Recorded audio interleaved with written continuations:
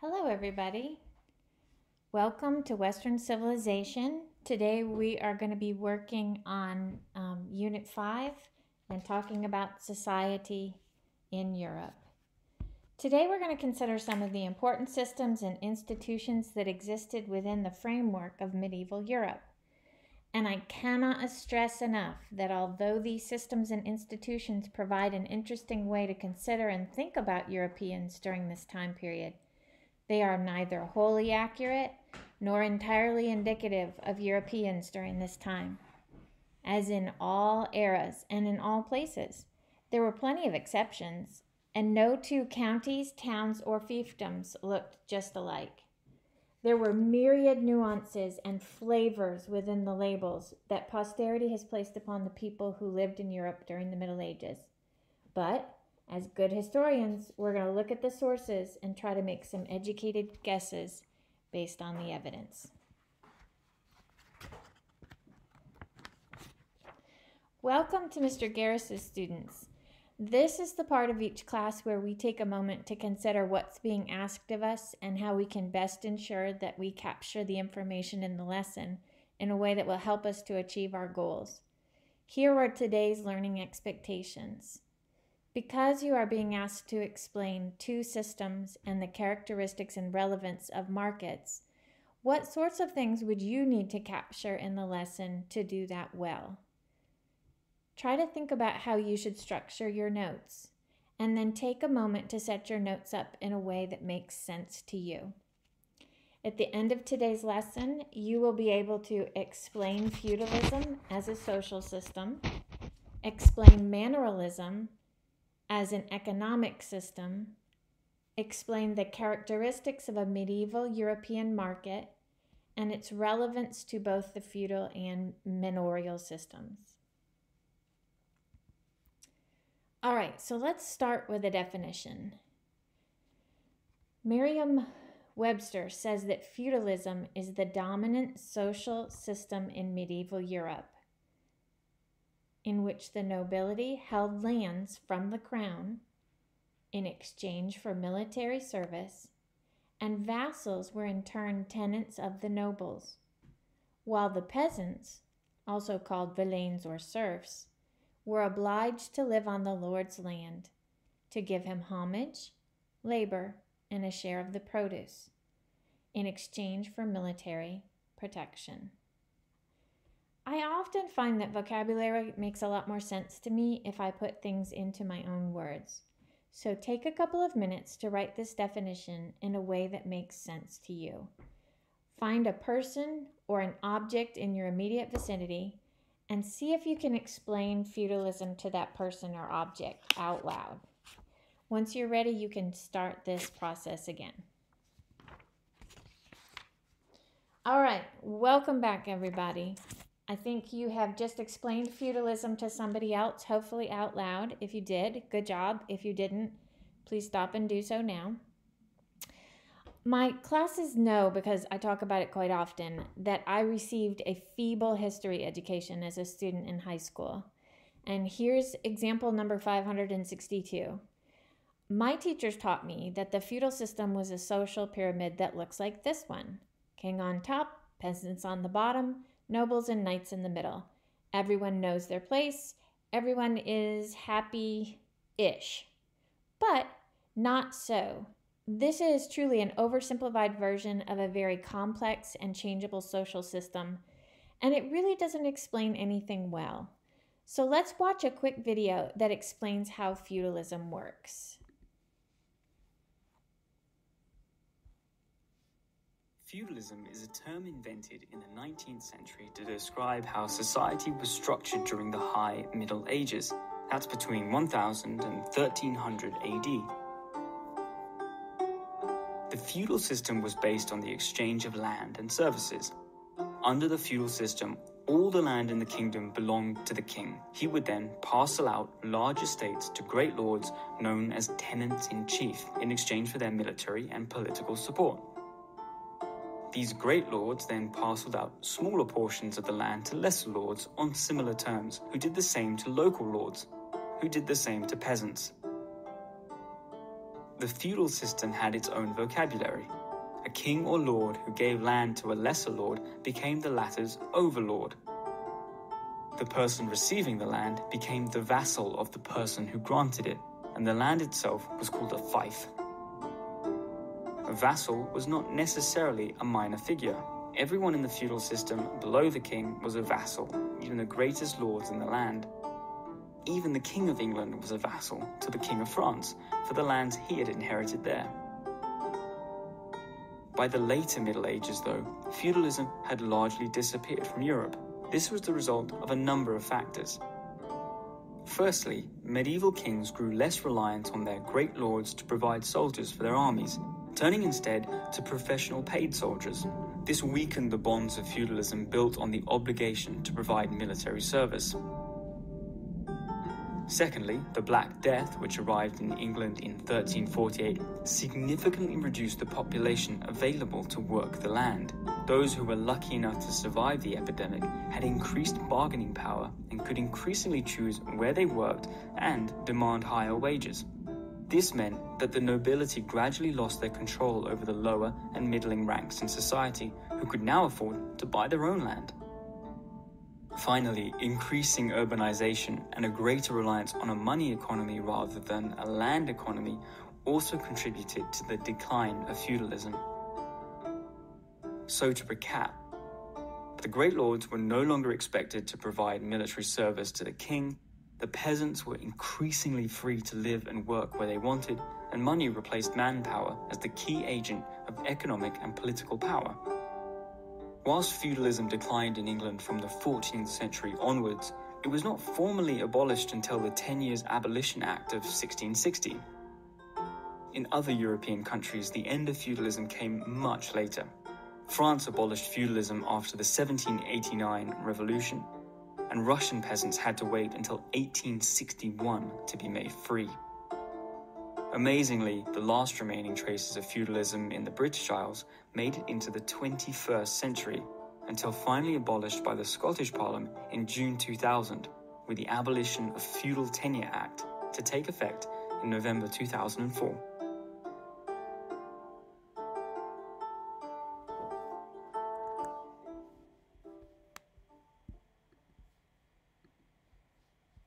Okay, so in my feeble high school brain, it all started with the king.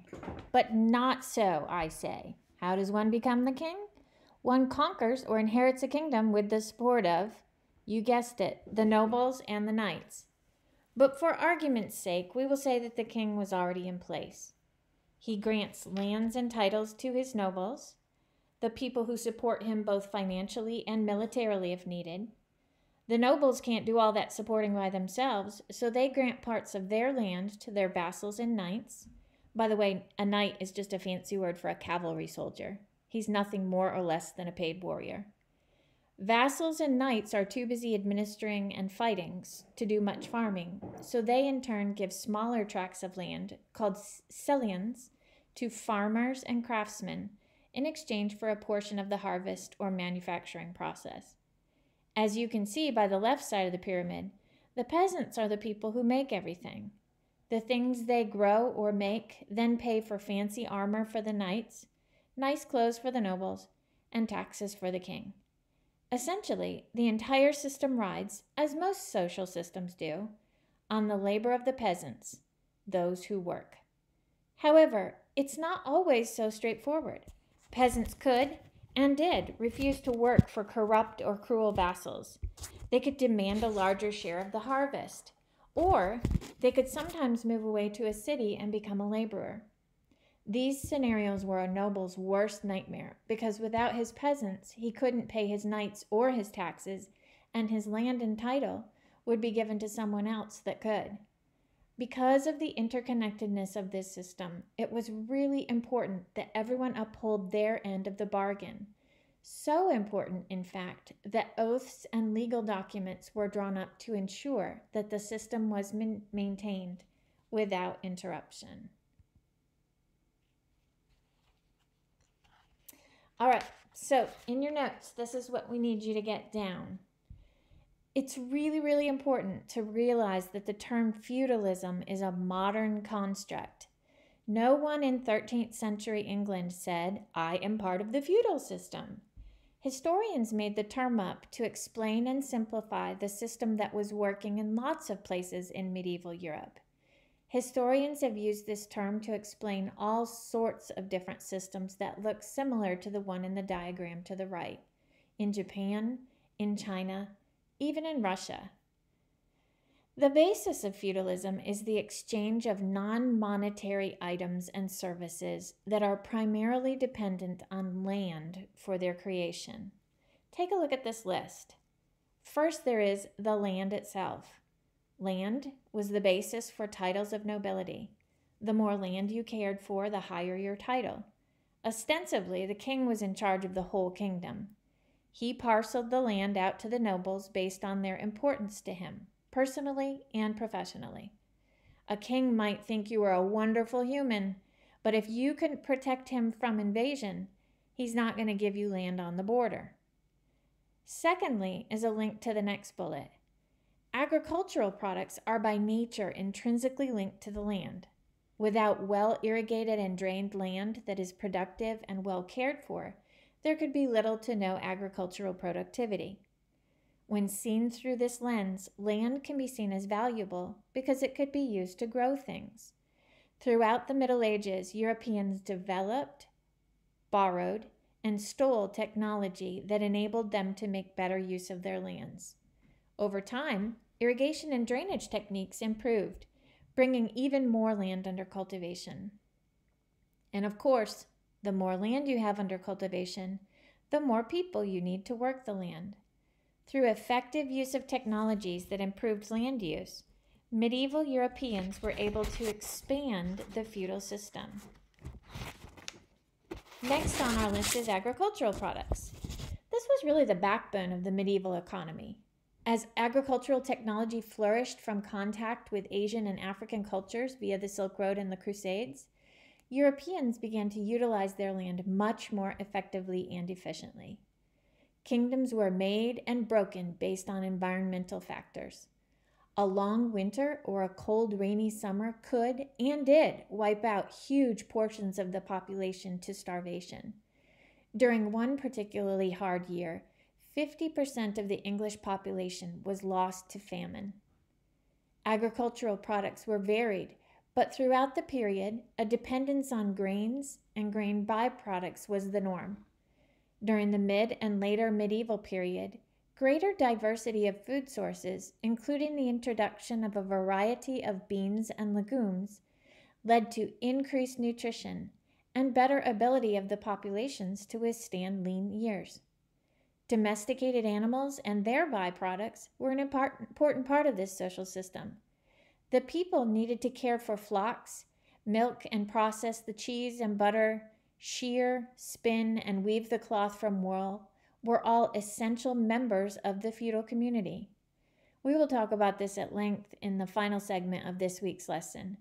But the ability to trade agricultural surplus products for coin via markets and fairs enabled all segments within feudal society to buy necessities and luxuries alike. Next bullet manufactured products. We really don't often associate manufacturing with medieval Europe, but there were some important manufacturing processes at work within the feudal system. Every fiefdom had to have somebody making horseshoes, swords, and all the other accoutrements of war necessary to outfit the knights.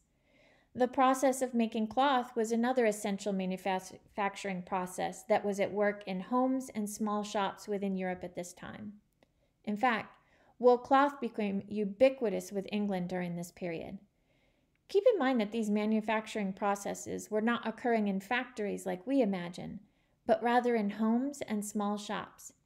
Individuals carried the knowledge of these processes and passed them down from father to son and mother to daughter.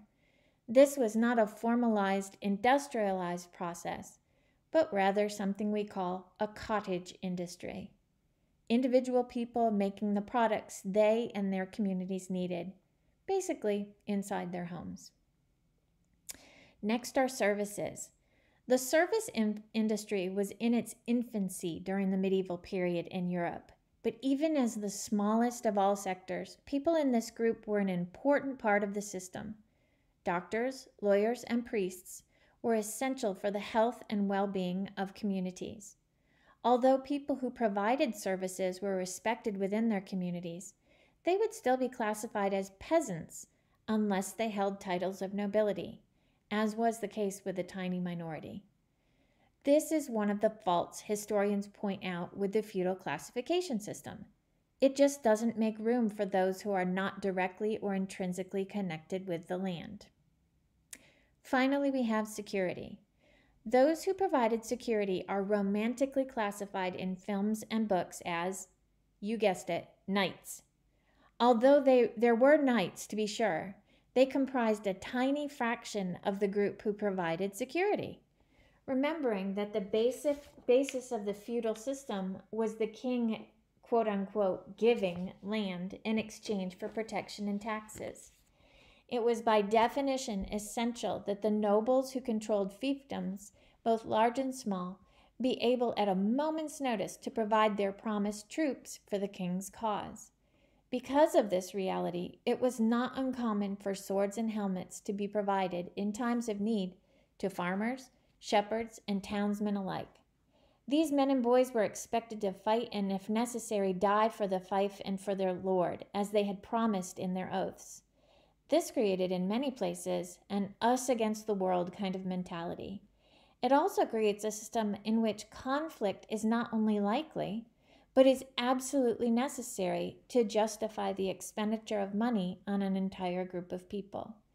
Without conflict, there would be no, need for security.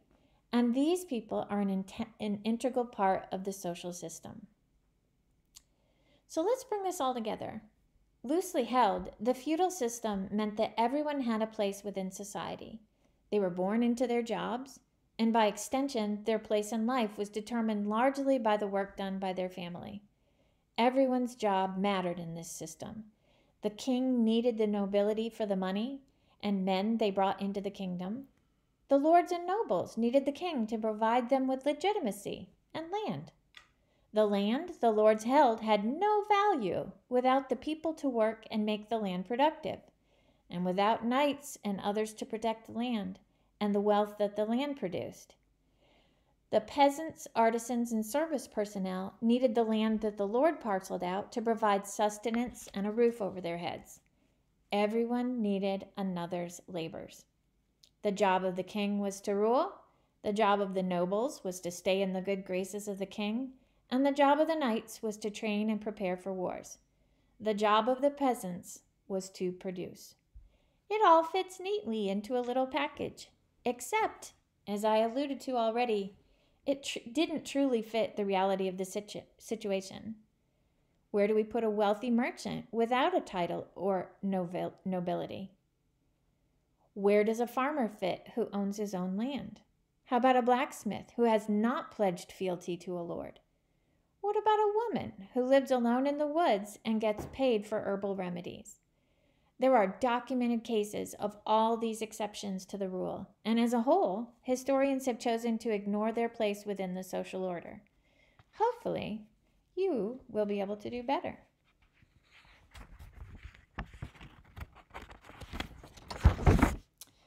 All right, you have earned a well deserved break from my voice. Please pause the video and complete the feudalism primary source analysis. This document is designed to help you better understand how feudalism works in actual practice, how it connects to the parallel government of the church, and it asks you to rethink the system on your own. Once you complete the analysis, you can restart this presentation. Welcome back. I hope you enjoyed working on your primary source. In your notes, I'm going to ask that you write the answers to these four questions. If you're unable to adequately articulate the answers to these questions, please re-watch part of the lesson that you missed. Question number one What type of system is the feudal system? Number two Why does a pyramid not accurately represent feudalism? Number three How does a feudal system lead to perpetual conflict? And number four what is the primary source of wealth in a feudal system? As soon as you've got those answers, come on back. Our second concept this week is the concept of manorialism. Manorialism is defined as a system of economic, social, and political organization based on the medieval manor in which a lord enjoyed a variety of rights over land and tenants. For our purposes, we, once again, are going to need to simplify this just a little bit. We're going to classify this as a political and economic system. It is intrinsically linked to the feudal social system. They're like peanut butter and jelly. Neither one can exist without the other. Well, technically they can, but why would you do that? But I digress. Okay, so manorialism is what happens economically and politically inside the fief. Its purpose is to manage the day to day operations of the fief to ensure that productivity remains high and the fief remains safe and ready for any eventuality. Watch this video. The music is lovely and the subtitles will help give you some good information about manorialism. Thank you.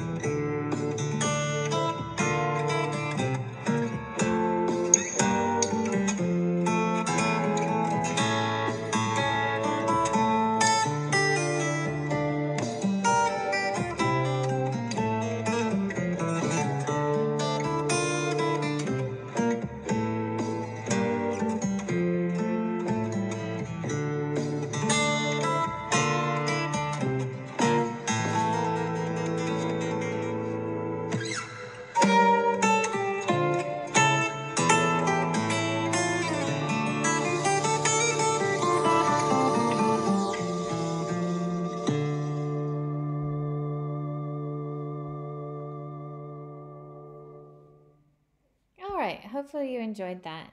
So what we see here, hmm, sorry about that, hold on.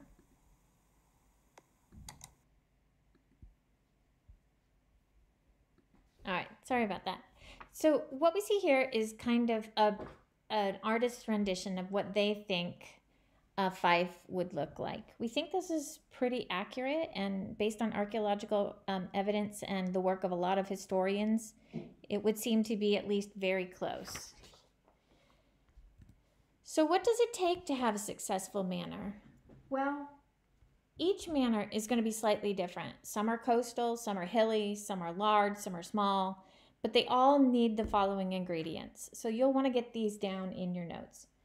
First and foremost, they need a good water source. Without water for crops, people, and livestock, there is no fief.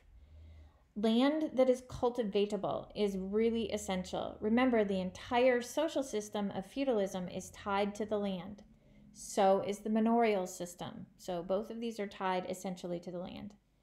Just as important is some type of living wood source for burning and building. A town is essential to the system because you need places for dwelling and for conducting business and trade. The church was essential, as we've established in the last few weeks. It provided the parallel moral guidance system that supported the social, financial, and political systems. You can't have a fief unless you have laborers. It's just no good without the people. And we saw some interesting evidence of that. Following the Black Plague, so many people died that laborers were able to earn huge gains in both their rights and wages because they became so valuable. So, labor is really going to change tremendously over the period that we call the Middle Ages.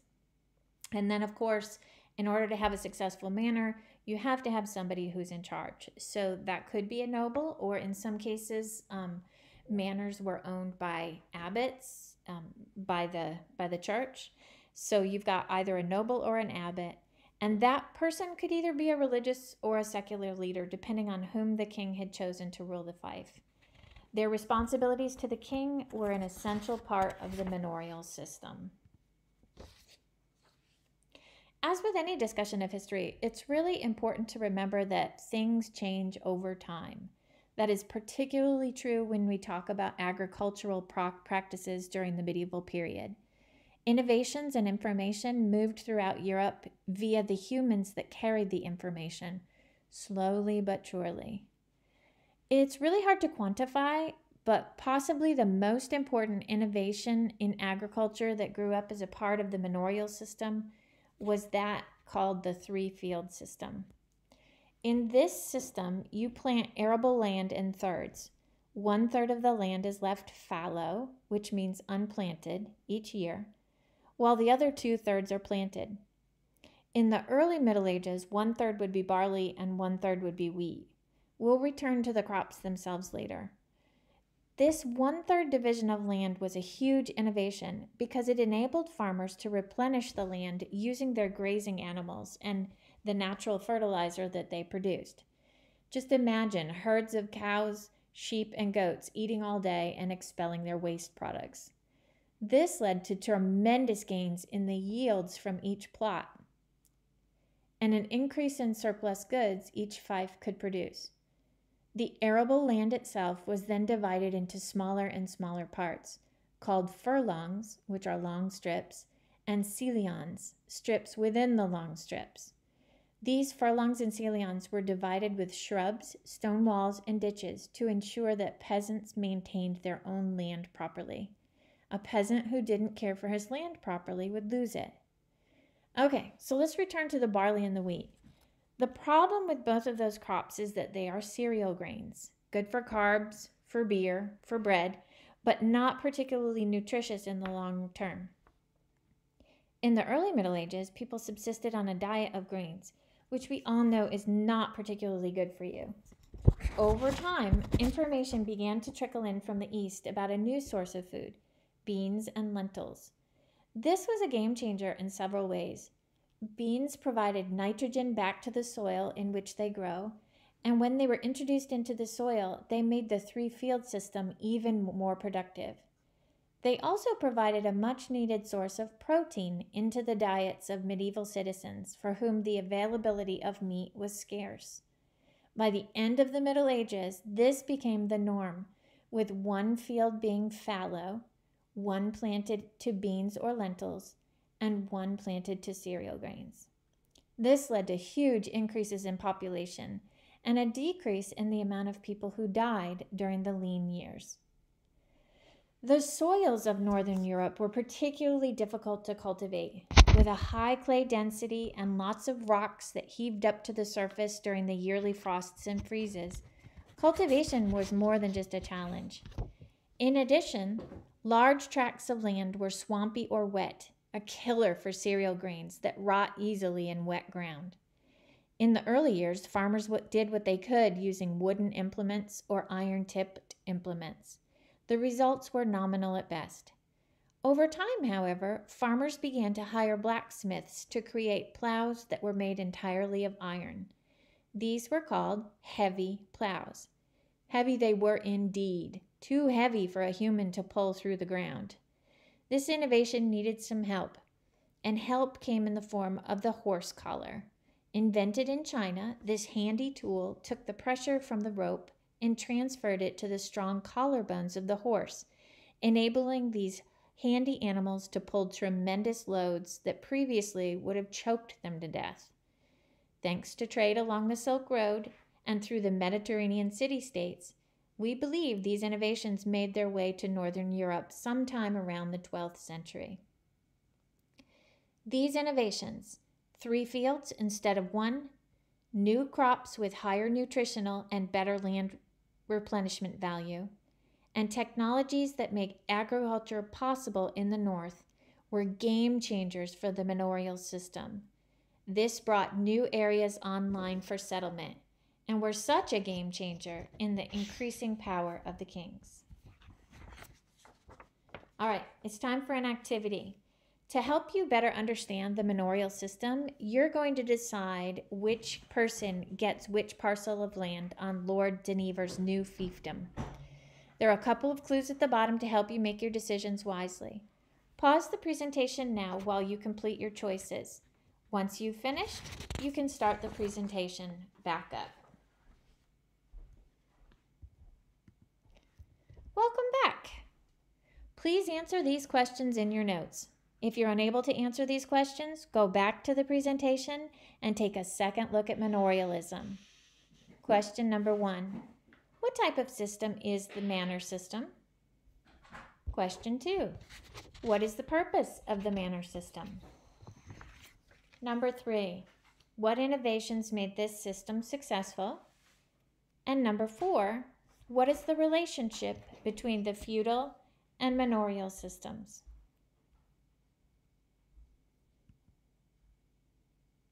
The feudal system and the manorial system were in many ways independent of one another. Each little area was semi autonomous and able to remain self sufficient for the most part. However, with all systems, nothing is completely autonomous.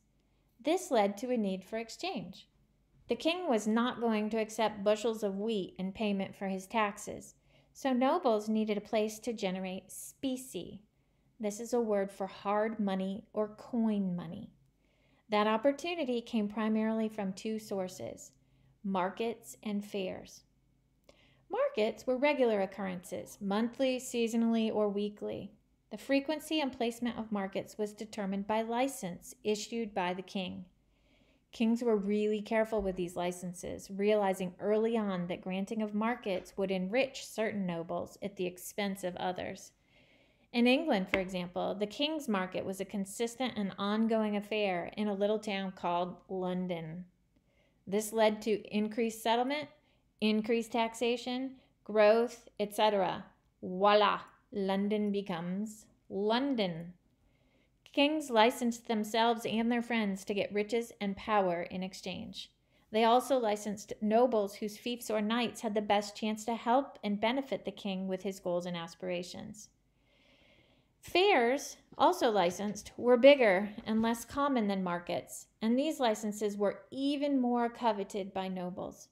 Fairs could attract merchants and goods from far afield.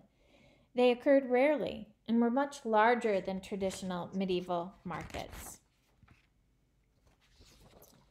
All right, so this is what I want you to get in your notes why markets and fairs mattered. Let's take a quick look at, at a quick video on medieval markets.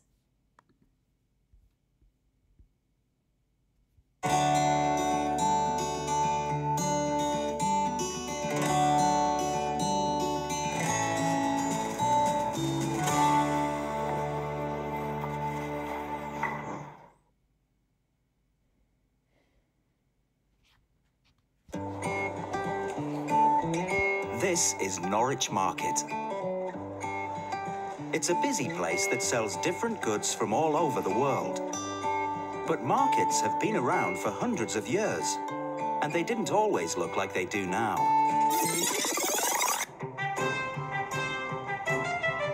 This is how Norwich looked about 500 years ago. In those days, there were no planes or trucks to transport things, so farmers took their own goods to market.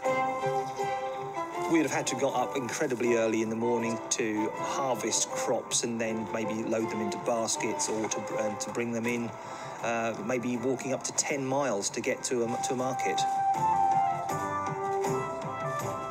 This is a, an important once weekly activity or occurrence that we just have to do. It's how we survive. And this is what the market might have looked like in those days. Usually a market would have developed around a crossroad between hamlets or villages and people would have met there and bartered and exchanged product for product. I bring along a chicken, you bring along some apples, we can swap them. As a civilization, we soon learned that you didn't have to be able to grow and manage everything yourself, that you would specialize. Many of the peasant farmers would have more products than they actually physically needed to survive and feed their family, so the excess they could sell or exchange.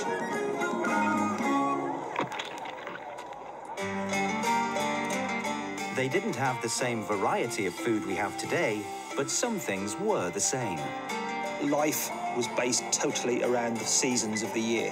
Everything was seasonal carrots were usually purple or white. The orange carrot doesn't come in for another few hundred years.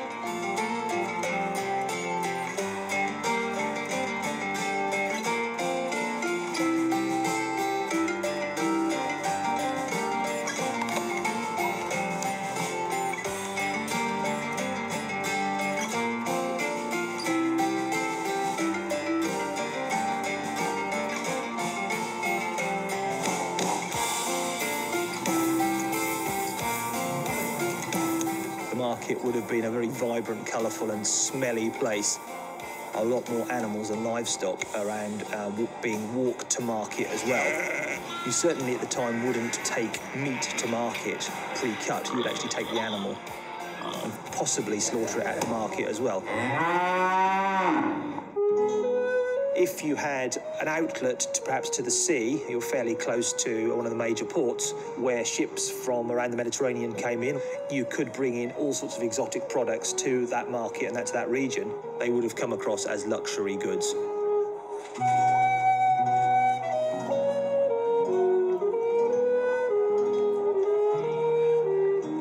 Markets became important places, which over time grew into towns other sorts of trades and shops would have soon built up around the market. We're likely to find old taverns and inns, coach houses where the coaches and horses would actually be able to have been stabled. The marketplace will also be a place of uh, punishment. The town at the time would have to have stocks or a pillory. Ultimately, the town itself builds up around the market.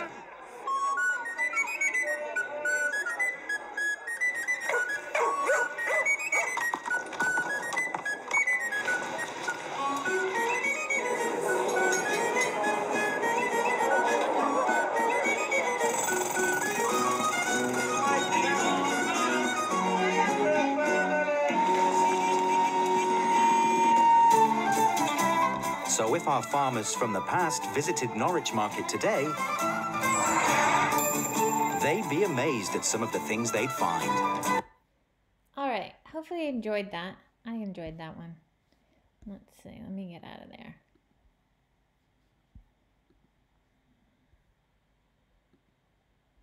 Oops.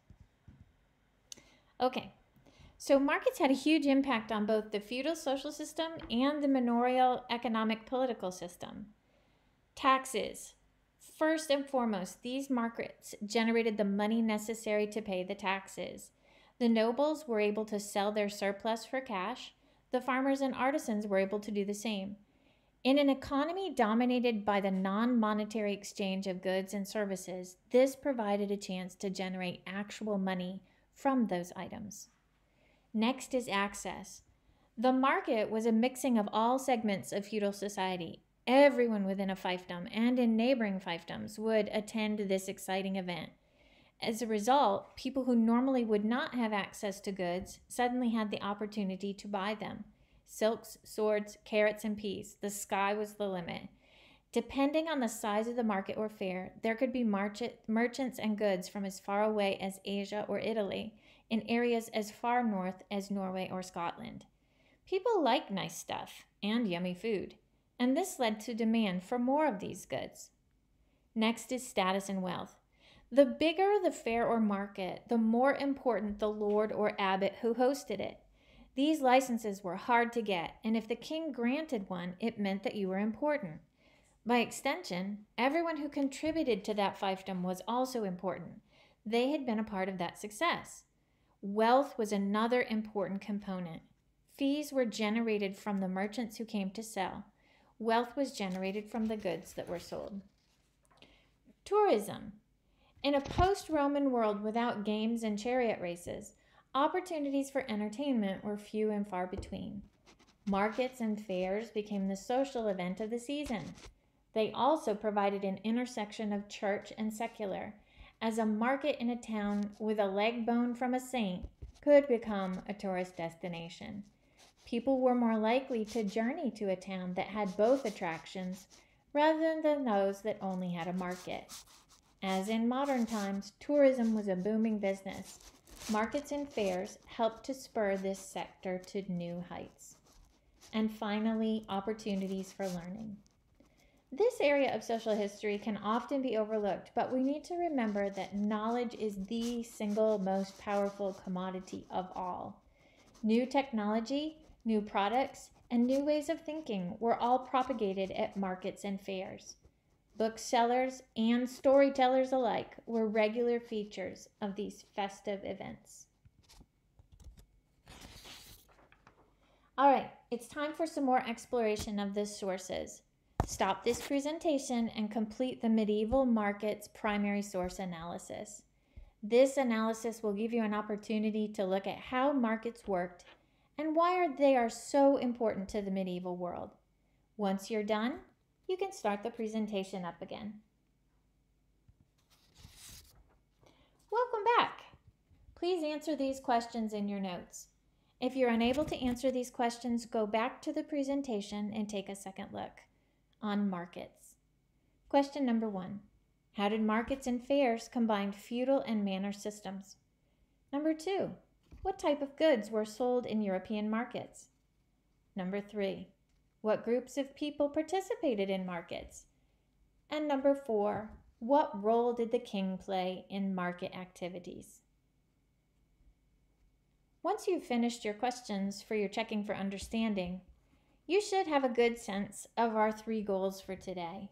Our first goal was to explain feudalism as a social system. Our second goal was to explain manorialism as an economic system. And our third goal was to explain the characteristics of a medieval European market and its relevance to the feudal and manor systems. I hope you've enjoyed this week's lesson. Remember to upload your assignments and notes with your checking for understanding answers to Google Classroom. You are wonderful and amazing humans. I miss you. I hope you are well and I hope you have a great weekend.